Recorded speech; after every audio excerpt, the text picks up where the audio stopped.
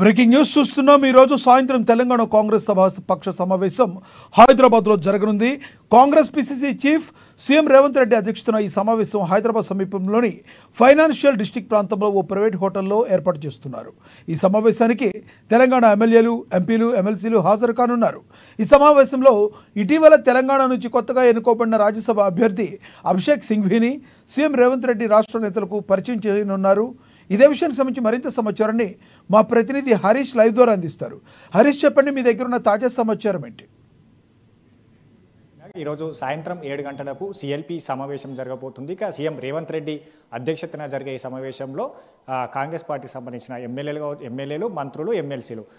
మొత్తంగా తొంభై మందికి ఆహ్వానం అందింది.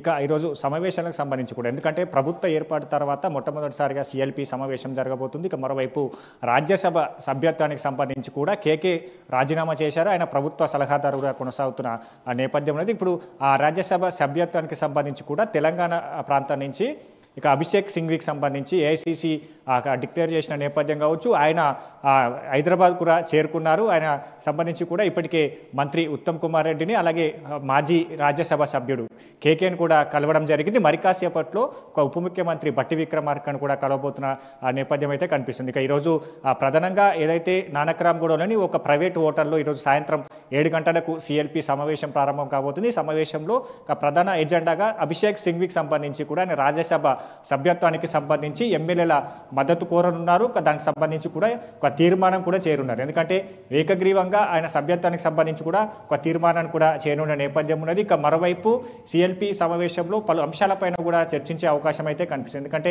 ఇప్పటికే రాష్ట్ర ప్రభుత్వానికి సంబంధించిన ఏదైతే పథకాలు కావచ్చు రెండు లక్షల రుణమాఫీకి సంబంధించిన పథకాలు కావచ్చు ఇప్పటికే ఇంప్లిమెంటేషన్ చేసిన ఏదైతే ఉచిత బస్సు ప్రయాణం కావచ్చు పది లక్షల ఎక్స్గ్రేషియా కావచ్చు ఐదు వందలకే గ్యాస్ సిలిండర్. ఇట్లాంటి పథకాలన్నీ గత ఎన్నికల ముందు కాంగ్రెస్ పార్టీ ఆ, హామీలు ఇచ్చినాయి కాబట్టి వీటన్నిటిని కూడా నెరవేరుస్తున్నారు. వీటిని క్షేత్రస్థాయిలో ప్రజల్లోకి తీసుకెళ్ళాలి ఇక ప్రజలకు సంబంధించి ఇప్పటికే రెండు లక్షల రుణమాఫీ సంబంధించి కూడా పెద్ద ఎత్తున ఆ, ప్రజల్లో క్షేత్రస్థాయిలో తీసుకెళ్ళాలని కూడా దానిపైన కూడా ఈరోజు చర్చించే అవకాశం అయితే కనిపిస్తుంది. ఇక మరోవైపు ప్రభుత్వానికి సంబంధించిన తాజా రాజకీయ పరిస్థితులు కావచ్చు ఇక స్థానిక సంస్థలకు సంబంధించిన ఎన్నికలపైన కూడా ఈరోజు చర్చించే అవకాశం కనిపిస్తుంది. దాంతోపాటుగా ఇక ముఖ్యంగా ఇందిరమ్మ కమిటీలకు సంబంధించి కూడా ఈ కమిటీలను వేస్తామని కూడా గతంలో కాంగ్రెస్ ప్రభుత్వం చెప్పింది కాబట్టి ఇందిరమ్మ కమిటీలకు సంబంధించిన కార్యాచరణ కావచ్చు ఇంకా ఏదైతే ఇందిరమ్మ కమిటీలు వేస్తే ఏ విధంగా ఉండబోతుంది అన్నది కూడా ఒక ఎమ్మెల్యేలు కావచ్చు మంత్రులకు కూడా ఫీడ్బ్యాక్ తీసుకున్న నేపథ్యం అయితే కనిపిస్తుంది. ఇక మరోవైపు ఏదైతే ఈ నెల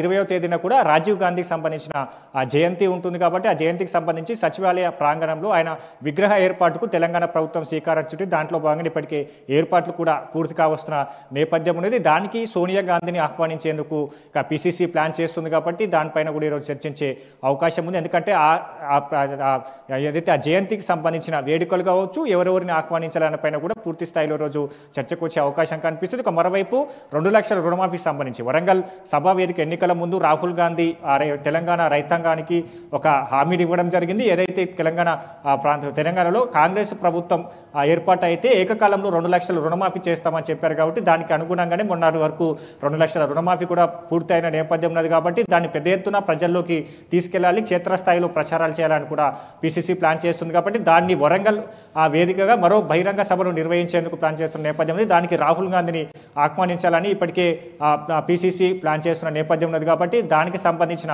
కార్యాచరణ కావచ్చు ఈ రెండు ఏదైతే కార్యక్రమాలకు సంబంధించి మరోవైపు అభిషేక్ సింఘ్వికి సంబంధించి కూడా ఆయన రాజీనామా ఏదైతే రాజ్యసభ సభ్యత్వానికి సంబంధించి కూడా ఆయన మద్దతు మద్దతు ఇవ్వాలని కూడా ఈరోజు ఎమ్మెల్యేలను కోరున్నారు. మరోవైపు రేపు పదకొండు గంటలకు అసెంబ్లీలో ఆయన ప్రమ ఏదైతే నామినేషన్ దాఖలు చేయడం నేపథ్యం అయితే ఉంది. ఈ నెల వచ్చే నెల మూడవ తేదీన రాజ్యసభ సభ్య స- రాజ్యసభకు సంబంధించి కూడా ఎన్నికలు జరగబోతున్నాయి. దాంట్లో తెలంగాణ నుంచి కూడా ఏకగ్రీవంగా ఏదైతే సింఘ్వి ఏదైతే ఎన్నికయ్యే అవకాశాలు అయితే కనిపిస్తున్నాయి కాబట్టి దీనిపైన ప్రధాన ఎజెండాగా ఏదైతే అభిషేక్ సింగ్కి సంబంధించిన రాజ్యసభ సభ్యత్వానికి సంబంధించి మద్దతు కూడా కట్టడం ఆయన సంబంధించి కూడా ఎమ్మెల్యే పరిచయ కార్యక్రమాలతో పాటుగా పార్టీకి సంబంధించిన కార్యక్రమాలు ప్రభుత్వాలకు సంబంధించి కూడా కార్యాచరణ కావచ్చు స్థానిక సంస్థలకు సంబంధించి ఎన్నికలు కావచ్చు. అంటే కొత్తగా కాంగ్రెస్ ప్రభుత్వం ఏర్పాటైంది కొత్తగా ఎమ్మెల్యేలు కొంతమంది కొత్తగా నామినేటెడ్ అయ్యారు మరి కొంతమంది బీఆర్ఎస్ నుంచి కూడా కాంగ్రెస్ పార్టీలోకి ఎమ్మెల్యేలు వచ్చారు కాబట్టి వాళ్ళందరికీ సంబంధించి కూడా కాంగ్రెస్ ప్రభుత్వం ప్రభుత్వం తీసుకోబోయే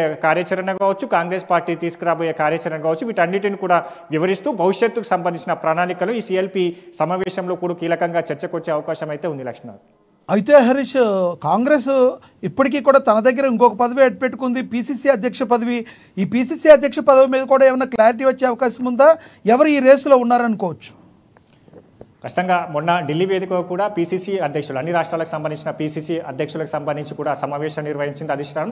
దానికి సంబంధించి అప్పుడు సీఎం రేవంత్ రెడ్డికి సంబంధించి కూడా విదేశీ పర్యటనలోనే ఆయన మూ ఆయన త- తర్వాత మరుసటి రోజు కూడా ఆ, ఢిల్లీకి చేరుకున్నారు. అక్కడ కూడా దీనిపైన కూడా సుదీర్ఘంగా చర్చ జరిగినట్టుగా తెలుస్తున్న నేపథ్యం అయితే కనిపిస్తుంది. అంటే పీసీసీ సంబంధించిన చీఫ్కి సంబంధించి అయితే పదవీ కాలం పూర్తయింది కాబట్టి ఇప్పుడు సీఎం రేవంత్ రెడ్డిగా పీసీసీ చీఫ్గా ఉన్నాడు దానికి సంబంధించిన స్థానాన్ని ఇతరులకు భర్తీ చేయాలి కాబట్టి దానిపైన సుదీర్ఘంగా కసరత్తు జరుగుతున్న నేపథ్యం కనిపిస్తుంది. దాంట్లో సామాజిక రాజకీయాలకు సంబంధించిన సమీకరణలు దృష్టిలో ఉంచుకొని అది అధిష్టానం డిసైడ్ చేస్తున్న నేపథ్యం అయితే ఉంది.